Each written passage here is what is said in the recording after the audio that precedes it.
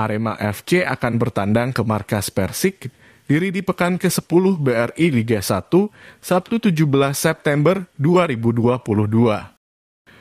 Meski Persik saat ini jadi juru kunci di klasemen sementara, tapi ini tetap bukan partai mudah. Mengingat Arema FC juga sedang dalam tren negatif. Mereka belum pernah menang dalam tiga laga beruntun. Demi meraih tiga poin di laga itu, pelatih Arema Javier Roca coba mempertajam lini depannya.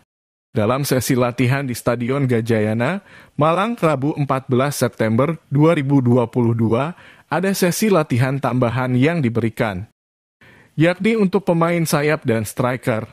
Tito Hamzah dan Ahmad Figo digembleng untuk memberikan crossing yang bagus. Sedangkan dua striker lokal, M. Rafli dan Hani Sahara yang menyambut umpan itu untuk menjadi gol. Pelatih Javier Roca juga sudah memberikan porsi latihan tersebut kepada kedua pemain dalam sesi sebelumnya di lapangan Universitas Brawijaya, Malang. Tapi pemain yang dapat instruksi khusus ini lebih banyak. Seperti Irsyad Maulana, Ahmad Al-Farisi, Adam Alis, dan lainnya. Saya datang ke sini untuk memperbaiki apa yang kurang dalam tim, baik itu fisik, mengasah kemampuan, dan lainnya.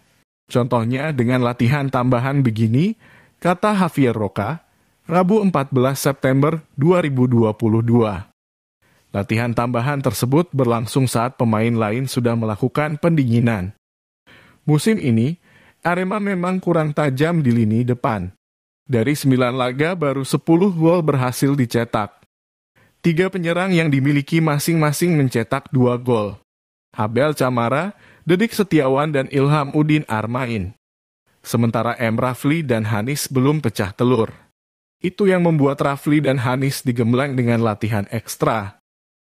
Namun persoalan lini depan yang belum gacor, ada persoalan lain yang ingin diperbaiki Arema. Yakni suplai bola yang bagus dari sayap maupun lini tengah. Hanya beberapa kali pemain depan dapat umpan manja.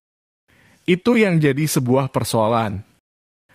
Abel Camara yang didatangkan dari kasta tertinggi Liga Portugal pun kesulitan mencetak banyak gol.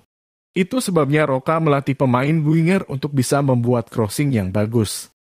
Begitu juga lini tengah, mereka diharapkan bisa memberikan terobosan yang efektif. Terima kasih sudah menonton. Jangan lupa like, comment, share, dan subscribe.